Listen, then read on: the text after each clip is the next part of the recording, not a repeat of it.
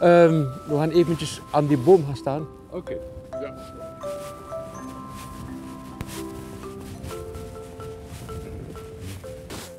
De 6 juni 44, de geallieerden landen in Normandië. Die ze hebben daar toch zeker een, een paar weken gevochten. Pas na 15 augustus kunnen ze doorbreken. Een, eh, een deel gaat dus naar Parijs en, en eh, een deel eh, komt dus langs de Franse kust. De Duitsers vluchten. 150.000 Duitsers vluchten langs de eh, Frans-Belgische kust, komen hier terecht.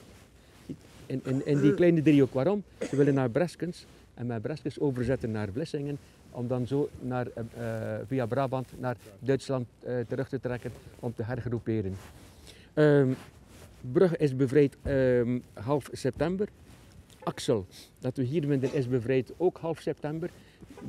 Deze streek is maar op 1 november eh, bevrijd geworden. De slag om de Schelde heeft zich grotendeel hier afgespeeld. De geallieerden zaten met een dilemma. Er zijn hier 150.000 Duitsers. Als ze dus daar een, eh, hun troepen op afsturen, dan krijg je een bloedbad van je welste. Dus wat hebben ze gedaan? Gewoon de boel platgeschoten. En wat met de inwoners? Collateral damage. Het verhaal van Hiroshima ook. Ze konden, de Amerikanen konden de Japanners niet bedwingen. Wat hebben ze gedaan? Gewoon dus in de boel plat gebombardeerd. En wat doen de Russen ook? Hè? Dus, ehm, alles dat boven het maaiveld uitstak moest eh, kapot geschoten worden. Dus alle kerktorens, alle stadstorens moesten dus kapot geschoten worden door, eh, door, de, um, door de geallieerden. Uh, een van de, um, de bekende Engelse generaals was uh, Harris, bijgenaamd Bomber Harris. Die heeft gedacht, er zitten veel Duitsers in sluis, we gaan hier de boel plat gooien. Op 11 oktober hebben ze de sluis gebombardeerd, er zaten hier een paar Duitsers. In en voor Breskens ook honderden burgerdoden, 10% van de bevolking gesneuveld. Aan de verkeerde kant van Breskens hebben ze gebombardeerd. Ja, ja. Je ziet dus in uh, die bloemen, er is ieder jaar een herdenkingsmars, die dus in um, de geallieerden zijn tenslotte geland. Uh, dat is hier ergens in Hoofdplaat en uh, doorgestoken tot in Knokken.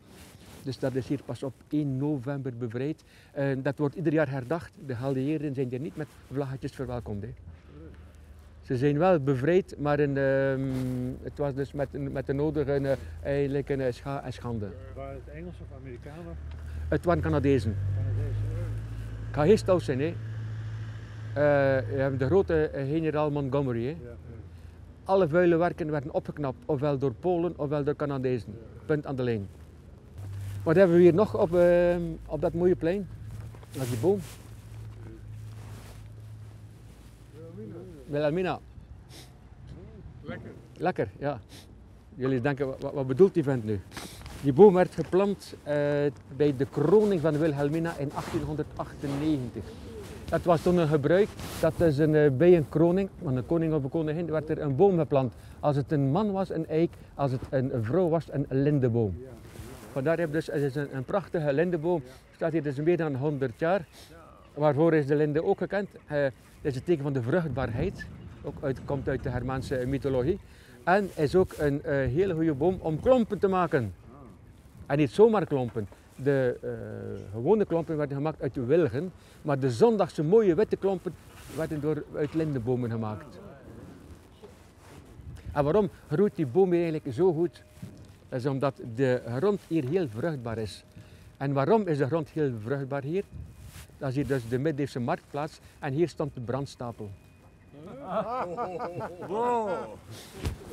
Uh, in 1550 is de laatste, laatste nee, een heks, nee, nog, nog veel slechter, een, um, een doopsgezinde dominee. Ja, is door de inquisitie, dus hier, een ketter, die een doopsgezinde dominee uit Aardenburg nota bene, die is hier dus door de inquisitie dus een, uh.